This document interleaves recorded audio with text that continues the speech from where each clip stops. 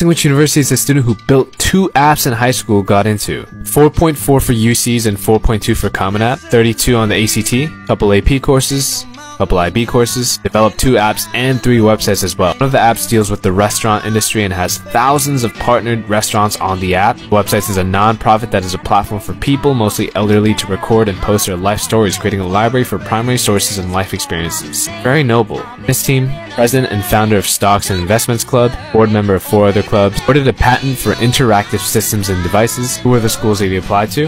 This said his results were very interesting, so I'm gonna guess pretty randomly.